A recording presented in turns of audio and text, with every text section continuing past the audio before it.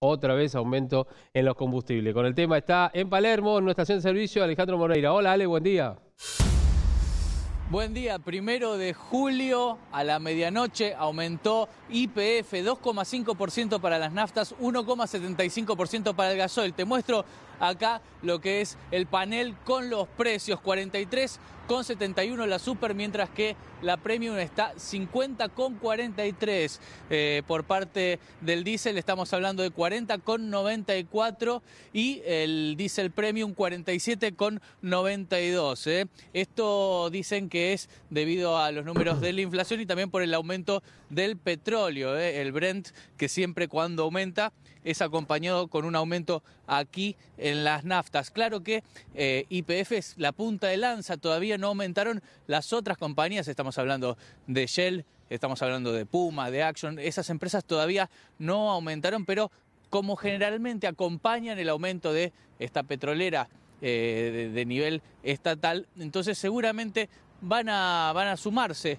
a este aumento que ya acumula anual en este año 15,5%. Lo que dicen es, bueno, este aumento de 2,5 es menor a lo que se espera de en cuanto a la inflación eh, de, junio, ¿no? Así que vamos a ver qué es lo que sucede también con los números de la inflación que todavía el INDEC no los presentó.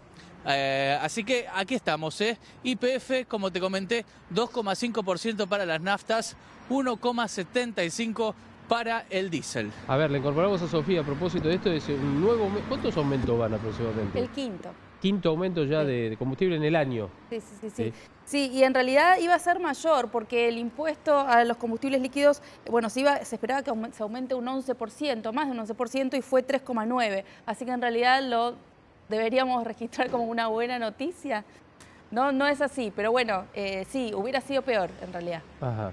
Bueno, este, después vamos a hablar con algunos automovilistas, Ale, si te parece, porque ayer este, yo vi varias largas filas en algunas estaciones de servicio porque el rumor del aumento del combustible ya se veía desde prácticamente el viernes en la noche, en la tarde, este, y no se sabía si iba a ser el domingo. Finalmente, bueno, como vos contabas, efectivamente fue en la jornada de hoy, a partir del primer minuto de la jornada de hoy y vemos pocos automóviles cargando combustible ahora. Y muchas veces lo que hemos visto, Ale, es que se carga, bueno, de a 500 pesos, 600 pesos, 300, no se llena el tanque, ¿no? Claro, claro, claro. Cada vez es más difícil llenarlo eh, con el mismo dinero, ¿no? Recordemos que... ¿Cuánto, a ver, en tu vehículo, que son mil y pico de pesos ya los que se gastan, ¿no? Por, el tanque. Sí, sí, porque vos tenés que calcular más o menos este, 50 litros, una cosa así, entre 45 50 monedas. De litros, sí, son mil, mil, claro, claro. mil seiscientos pesos, mil setecientos pesos en algunos casos. Bueno, depende también del vehículo que cada uno tenga, ¿no es cierto? Y la capacidad, pero sí, tenés que calcular para llenar un tanque no menos de, de más o menos mil pesos, ya a esta altura de, y me quedo corto. Y sabés lo que se hace mucho, yo cargué la última vez 1.800 pesos. Se hace mucho usar los canjes, los puntos que te dan los bancos, que te dan hasta un porcentaje de descuento. Entonces, si sacás ese, ese porcentaje, después aunque sea tenés 200, 300 pesos, y bueno, aunque sea algo rascás. Sí, exactamente. 5 litros más o menos, por lo menos. este... ¿cómo le va? A ver. Perdón, chicos, mira, justo caballero, aumentó la nafta, ¿sabe? ¿El IPF aumentó? Escuché sí recién el informe. ¿Y? Y hay que cargar, hay que continuar. No queda otra. No queda otra. ¿Cómo, cómo es la técnica de carga? ¿Cómo estamos cargando? ¿Estamos cargando de a, pesos o de llenando el tanque? No, de a pesos. Normalmente, semanalmente cargo mil, dos mil pesos y bueno, con eso me manejo hasta donde llega la reserva y vuelvo a cargar. No queda otra. Está bien. ¿Y estaba analizando también ir a otras compañías, digamos, porque todavía no aumentaron o...? No, no, directamente cargo siempre en IPF y trato de cargar casi siempre en este mismo lugar, así que me mantengo como cliente de IPF ¿no? Bueno, muchas gracias. ¿eh? Hasta luego. Ahí está, entonces el dato, viste, ahí carga mil, dos mil pesos por semana eh, y ahí va tirando el caballero. Es una de las, de las formas que, que, utilizan, ¿no? Para, para cargar en nafta, pero también lo mismo, ¿no? Cuando le digo aumento, y sí, ¿qué vamos a hacer? Si no, no puedes usar el, vehículo. No, Claramente tenés que cargar igual. No, por supuesto. No, este, y además, bueno, el, hecho de decir, bueno, voy a cargar, a ver, voy a usarlo tanto tiempo y hago un cálculo, no lo uso en la semana, lo usamos poco el fin de semana también, bueno, eso también este, influye. Y bueno, y sobre todo porque ahora es principio de mes, este, muchos han cobrado ya el, el sueldo, el aguinaldo inclusive también, entonces Aguinaldo. tratan de llenar por ahí el tanque para decir, bueno, disfrutamos el próximo fin de semana, no sé. Bueno, bueno, Ale, este, y mucho frío, ¿no es cierto? Mucho frío, sí, la verdad que sí. Está fresquito, fresquito en este comienzo de julio. Eh, realmente es notable la diferencia, la temperatura de la semana pasada y esta, pero bueno, hay que, hay que seguir, como, como el señor que sigue cargando nafta. Mm. Bueno, nosotros seguimos aquí informando y ya me estoy informando de que pasó algo en, en San Lorenzo porque estoy viendo algunos globos tirados acá en Palermo, así que se, se ha extendido en todo en toda la ciudad el festejo. Mirá, Ah, mirá mirá. lo que estoy encontrando, lo que acabo de ver. Bueno, se ve que acá el muchacho del coche este Ah, estuvo en los viene festejos. de, viene de gira. Estuvo, viene de gira, claro, mirá. Mirá Ahí está, vos, mirá. quedaron Acá ahí. tenemos los festejos de San Lorenzo. Ahí está. ¿Esos hinchas del ciclón vos? Pará, pará, pará. Vení, permiso, ¿eh? ¿Esto es tuyo? Lo tiré yo, sí. ¿Lo tiraste vos? Sí. Sí. Bueno, ¿y qué se siente este regreso? Eh, bueno, primero recuperar lo que nos arrebataron. Sí.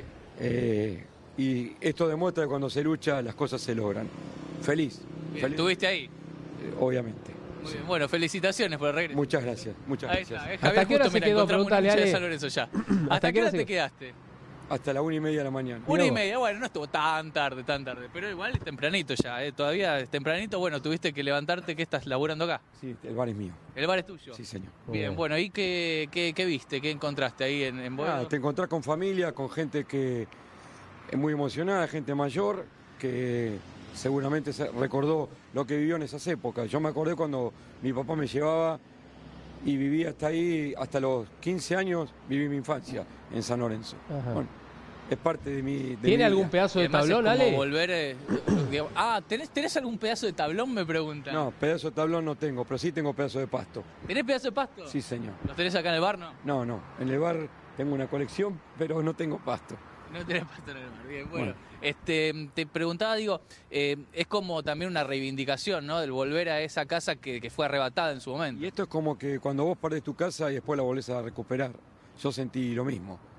Creo que fue injusto, pero bueno, eh, las injusticias a veces tienen un final feliz, como el de nosotros. ¿Cómo es tu nombre? Gustavo, Gustavo, Ah. gracias Gustavo. a ustedes. Ahí está, Gustavo Cuervo aquí, ¿eh? señor. el hincha del ciclón, que, que, bueno, se ve que venía, lo descubrimos por, me- por medio de estos globos que dejó tirados. ¿eh? Muy bien, muy bien. Y ya está, ¿ves? bueno, y está trabajando ya temprano en la mañana, a pesar de que se acostó tarde. Ya está ¿no es trabajando, sí. ¿Eh?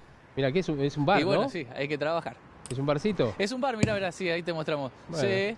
Ahí está, medio tostado más exprimido de naranja, 170. Un café con leche más dos medialunas, 110. ¿eh? Milanesas premium.